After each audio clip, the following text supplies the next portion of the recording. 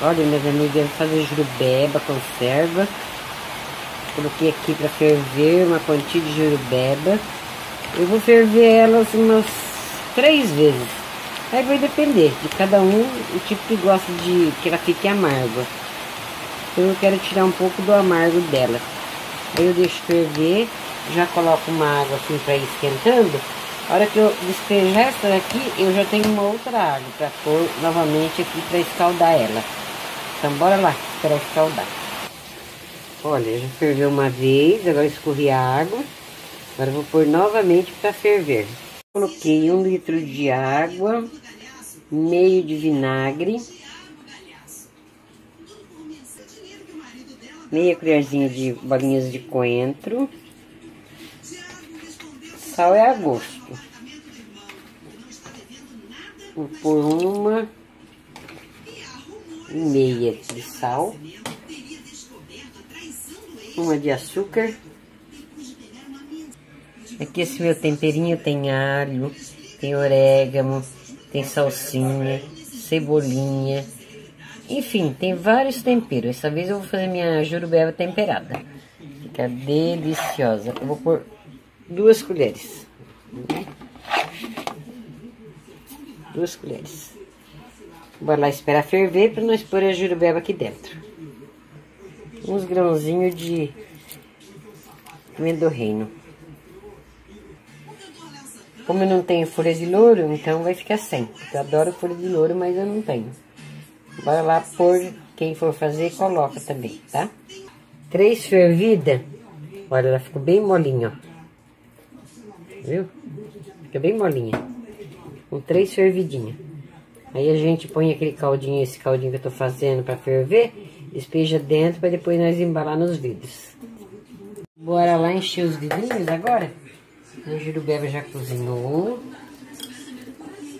Deixa a jurubeba, ela é muito boa. A gente não pode comer assim em excesso, né? Mas ela serve os frutos, as folhas. Muito boa para nosso organismo. A jurubeba, é anti-inflamatória. Ela é descongestionante digestiva, é diurética, é contra a febre, feito chá das folhas, suas bolinhas assim, é bom pro fígado, é protetora do fígado, né? É tônico, é tônico vascular, é muito boa, ela é rica mesmo em, em muitas coisas. Seu chá é 50 uma colher de sopa de folhas picadas e uma xícara de água em infusão. Põe a água para ferver. Depois coloca suas folhas dentro e tampa. Deixa ferver.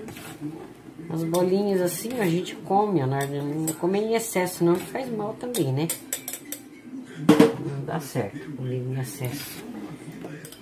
Olha maravilhosa, né? Eu já deixei minha aguinha ali fervendo.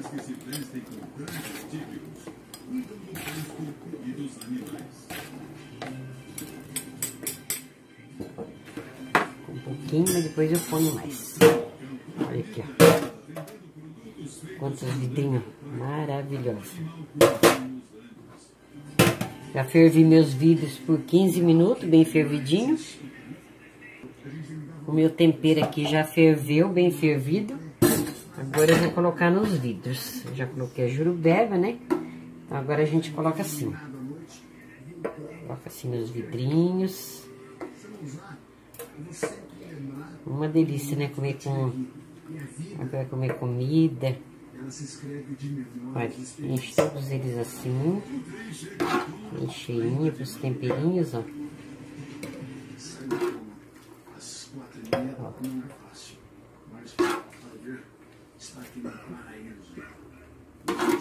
É muito gostosa. Ferve umas três vezes. Que aí ela já fica bem macia, molinha. Deliciosa. Sei que tem muita gente que gosta. E aqui no sítio dá bastante, né? Então bora lá fazer para não deixar estragar. Ó. Enche até na boquinha ali, ó. Olha aquela medida que eu fiz, ó, dá certinho. Ainda tem que pôr mais vidrinho. Eu ainda vou ferver que não deu. Bora lá pôr as tampas. Deixa eu pegar um guardanapinho aqui pra segurar que ela tá quente. Ó, tampa bem tampadinho. Fervi as tampas, os vidros por 15 minutos, bem fervidinho. Agora eu vou levar elas no, no, no meu caldeirão pra por dar uma, uma fechada, uma lacrada nos vidros. Que assim ela atura, amiga, bem assim, desse jeito feito assim, ela atura até ano. Fora da geladeira. E agora bora lá pôr no, no meu caldeirão. No meu caldeirão, ó, eu coloco agora a água. No fundo, né, pra não ficar eles em contato com o fundo. Coloco os vidrinhos dentro, ó. Vou colocar tudo dentro assim, ó.